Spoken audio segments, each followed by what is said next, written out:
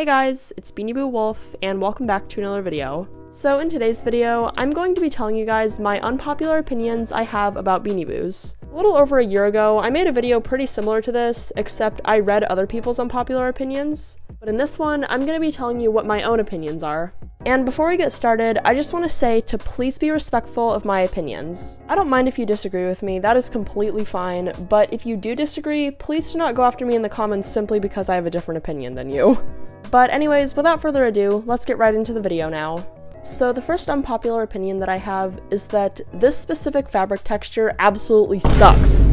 There have been so many times where the fabric has like caught onto my nail whenever I touched it and it feels so uncomfortable. And even just the thought of it makes me cringe, like ew. But I will say it is definitely better than the hard glitter. That's even worse. Anyways, getting on to our next unpopular opinion. Okay, so I see a lot of debates in the community about what animal Atlas is supposed to be. Like, I see people say that she's a fox, while I see other people say she's a wolf.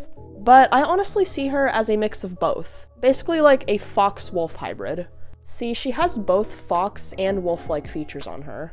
Like, she has black feet and black ears, which is commonly on foxes, but then she has more of a wolf like structure and not to mention a wolf tail. So yeah, in my opinion, I think she is a mix of both a fox and a wolf. Anyways, moving on to my next opinion. Frost is not as rare as people think she is. She's just really overpriced.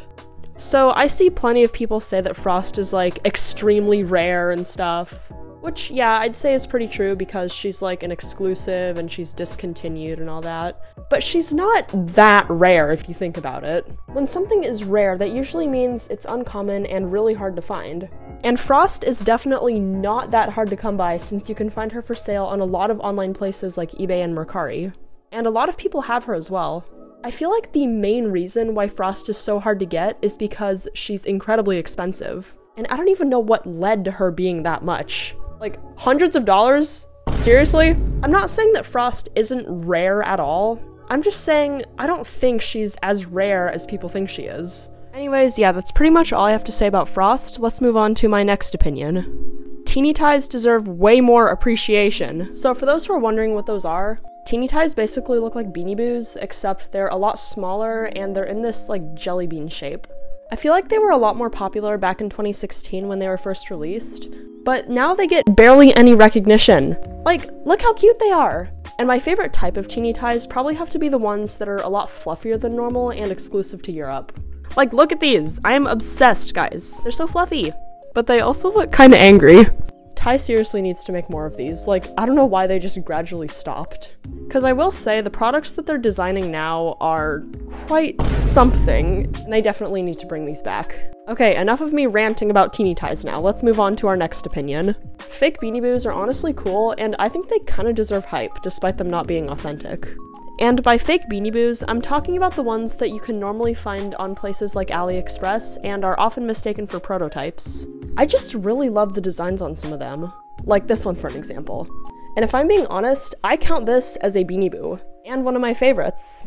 And I know that I did an unboxing video on this and said it was a prototype, but I was recently informed that it is not a prototype and simply just a fake Beanie Boo. But honestly, I don't really care that it's fake, I still love it.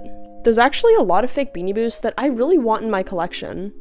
Like this multicolored bunny, which kind of reminds me of cotton candy. And this cat, which appears to be like a combination of two Beanie Boos, Pelly and Firecracker. And I think that's really interesting to be honest. And there's many other ones that I really want, but I'm not going to say all of them because then this video would be way too long.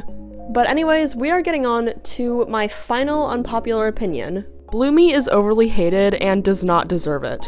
So for those who don't know, Bloomy is this bunny Beanie Boo that was released back in, I think, 2018. And I see a lot of bootubers saying how she looks really ugly and stuff, but to be honest, I disagree. So I think the main reasons why people don't like Bloomy is because of the shape. Like her head is really big and she has tiny ears and stuff, which I can completely understand honestly. But in my opinion, I personally think the shape is really cute.